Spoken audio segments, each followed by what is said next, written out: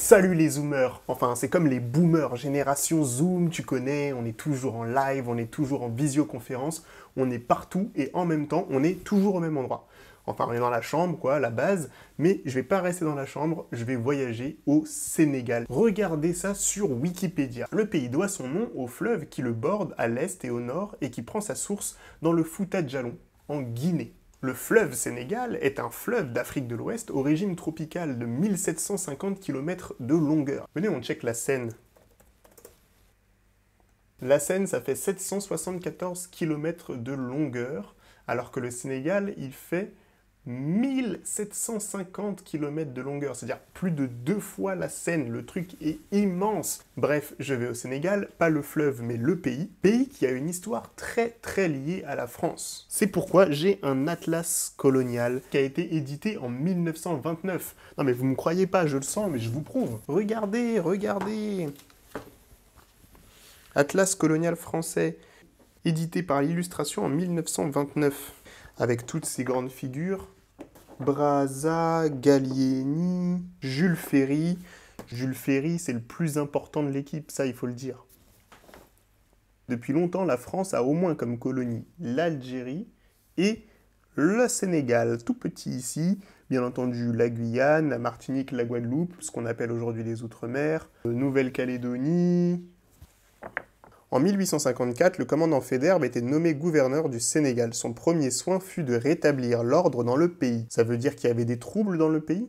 La France payait alors sous forme de coutume un véritable tribut au roitelet africain ce qui veut dire qu'il y a un pouvoir politique à cette époque, chose qu'on a trop souvent tendance à oublier. Faidherbe avait fait du Sénégal une véritable colonie, ses successeurs continuèrent l'œuvre de pacification qu'il avait entreprise, c'est de 1880 à 1900 que s'accomplit cette conquête de tout l'Ouest africain.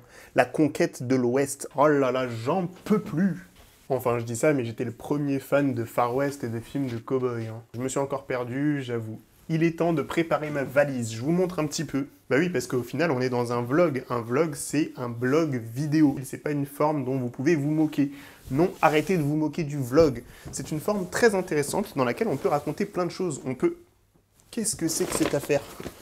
Il y a du vent dans ma valise un peu de sérieux. Je crois que le vlog, c'est une nouvelle forme d'écriture. Alors certes, on peut s'en servir pour vendre des produits, faire du placement, raconter sa vie en disant un peu tout et n'importe quoi, mais je crois qu'on peut aussi s'en servir pour de nouvelles formes d'écriture cinématographique. Alors certes, dans le vlog, il y a tout un tas de codes. Par exemple, j'utilise une ring light, comme les TikTokers et les TikTokeuses. D'ailleurs, dans ma valise, je vais prendre la ring light, je vais prendre une perche à selfie, une nouvelle arme, la perche à selfie je sors un fond vert, toujours utile pour les incrustations, aussi une moustiquaire, toujours utile contre le paludisme. Mais je crois que je suis en train de me perdre avec toutes ces histoires. Il faut que je vous parle du Sahel. Je suis sûr que vous en avez déjà entendu parler, puisque la France est présente massivement au Sahel dans le cadre de l'opération Barkhane. Vous savez, l'opération Barkhane, c'est l'opération la plus importante de l'armée française depuis la fin de la guerre d'Algérie. Je vois, vous connaissez, enfin, mais précisément, vous voyez ce que c'est ou pas? Parce qu'en ce moment, c'est chaud. Si vous tapez Barkhane dans la barre de recherche, libération, convoi de Barkhane à les soldats français se sont rassemblés et ont qu'est-ce qu'ils ont fait? Ouvert le feu. Dans la ville nigérienne, un convoi de ravitaillement de l'opération a été bloqué samedi par une foule de jeunes en colère. Pour les disperser, l'armée française assure avoir effectué des tirs de sommation. Des tirs directs réfutent quatre témoins interrogés par Libération.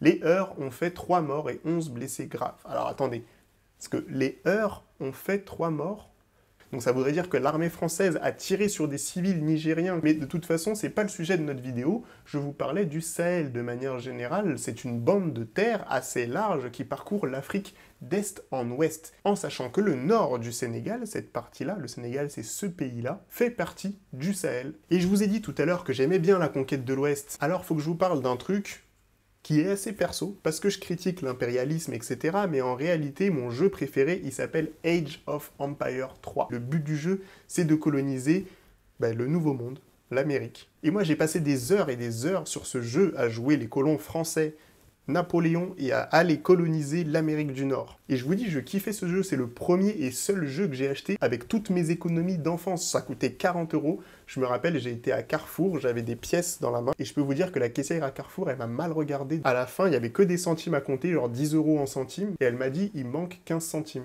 Elle m'a dit, tu prends pas le jeu. Et il y avait une queue de ouf derrière moi, donc heureusement, il y a des gens qui ont dit, tiens, prends 15 centimes, prends ton jeu et casse-toi. Ça a l'air tout bête comme ça, mais il y a quelques jours, je suis retourné jouer à Age of Empires 3 et je me suis rendu compte qu'ils ont fait une mise à jour intitulée African Royal, c'est-à-dire les royaumes africains, ceux dont on parlait tout simplement tout à l'heure quand Federbe disait qu'il avait lutté contre les roitelets africains. Et bien maintenant, on peut les jouer dans Age of Empires 3, alors c'est parti, on va faire ça tout de suite. Faut que je vous lise un passage de Afropéa écrit par Leonora Miano. Bien des artistes afropéens ont opté pour la facilité en se tournant uniquement vers l'Afrique pourvoyeuse de rois et de reines à foison.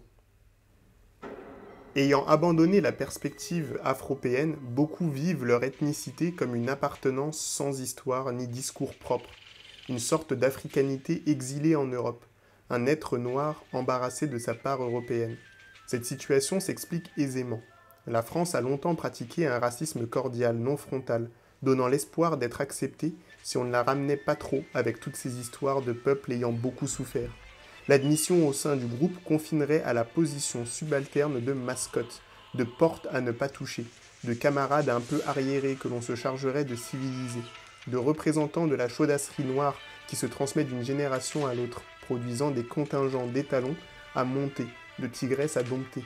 Il faudrait se montrer sympathique et drôle vivre son être noir sans conscience de sa nature politique, comme une particularité physique guère différente d'une autre. Des pieds plats, un nez proéminent, une forte corpulence. Il faudrait se taire face aux plaisanteries racistes afin de ne pas froisser ceux qui riaient de bon cœur puisque c'était si drôle. Se laisser ridiculiser serait le seul moyen d'exister auprès des autres. Pas tout à fait parmi eux, mais à côté, c'était déjà ça. Il faudrait s'entendre dire que l'on n'était pas comme les autres, pas concerné par la blague donc, car on avait accédé à l'humanité au contact des êtres supérieurs dont on était l'ami.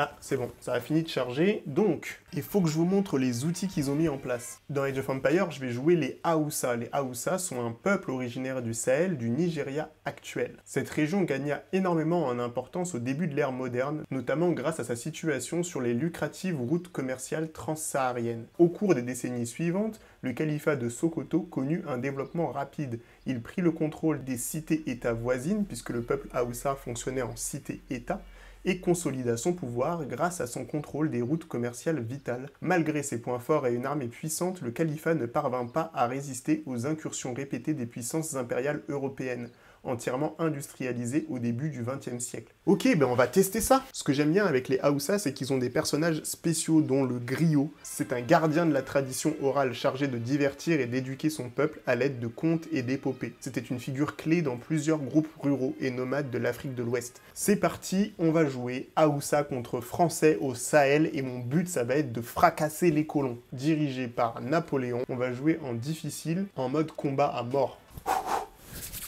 Vous voyez la carte du Sahel avec Mansa Moussa ici au centre, le grand roi africain qui a inondé le monde de son or. C'est parti, on commence à jouer, hop, on fabrique un centre-ville direct, tac. On continue avec un marché juste à côté. Mon explorateur, il s'appelle Karia Giwa. Alors, je vais mettre mes ressources qui viennent de ma métropole Aoussa en mode mort. Parce qu'on a dit c'est un combat à mort. Regardez ma grande mosquée. Elle est stylée, non? Je fais des murs parce que c'est ça le plus important face aux Français. Ils ont des canons de bâtards. On a toutes nos troupes qui arrivent petit à petit. Mais les Français, ils vont pas tarder à arriver. Regardez là qui arrive là-haut. Punaise, oh punaise. Et donc ma cavalerie, il faut qu'elle attaque direct ici. Hop.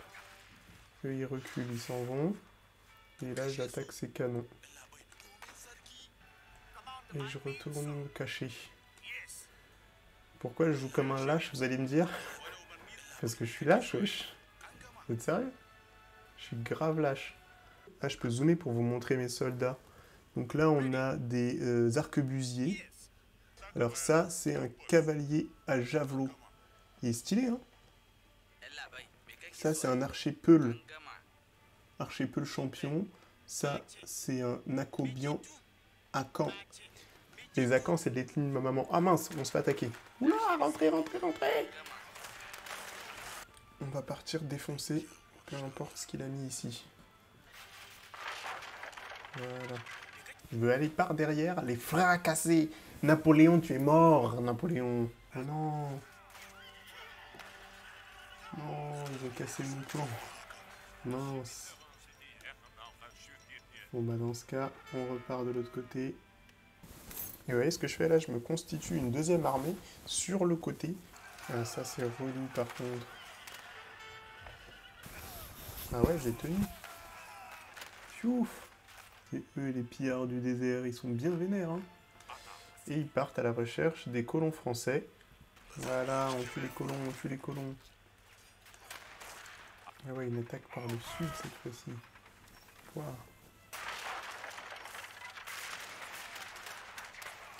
Incroyable, ils y arrivent, ils y arrivent. Non mais du coup, je vais aller les fracasser avec euh, mes troupes du Nord. Hein. Là, c'est parfait ce que je suis en train de faire. Je vais niquer ces usines et les Français sans usines, ils sont vraiment dans le mal. Mais vous voyez, ces colons sont là. Hop là, on attaque ces colons. Hop, hop, hop, hop, hop.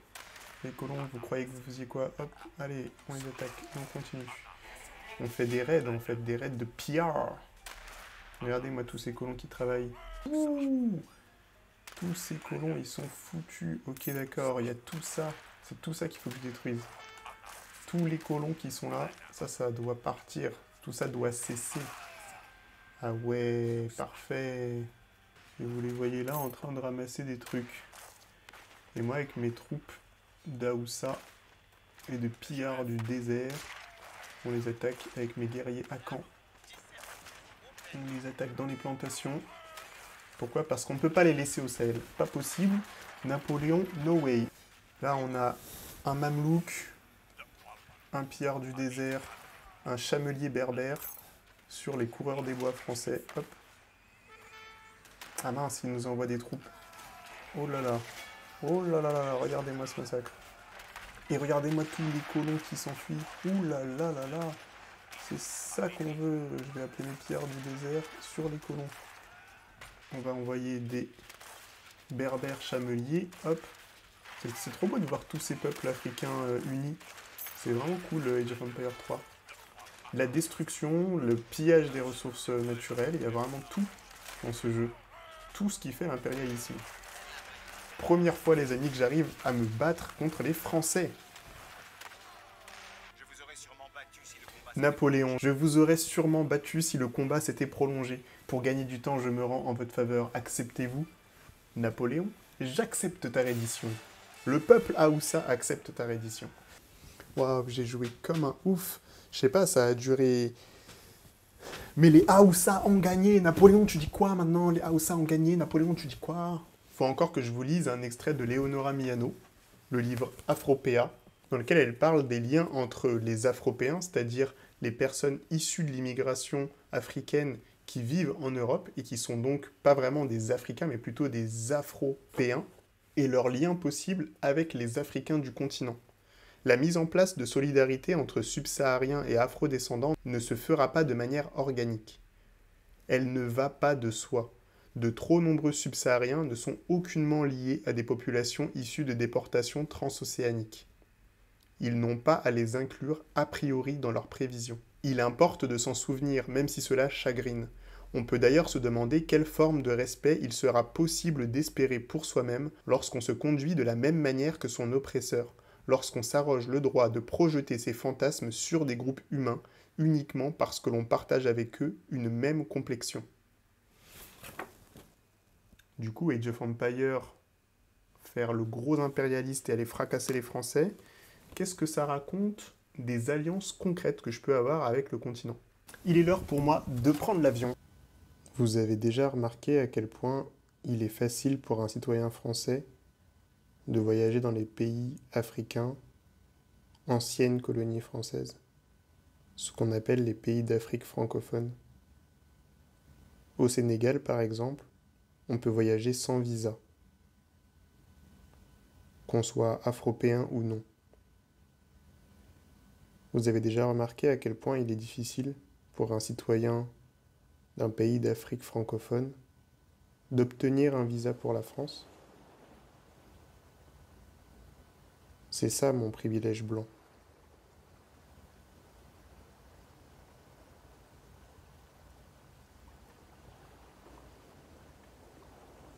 C'est bon, je suis arrivé à Dakar. Directement à la plage.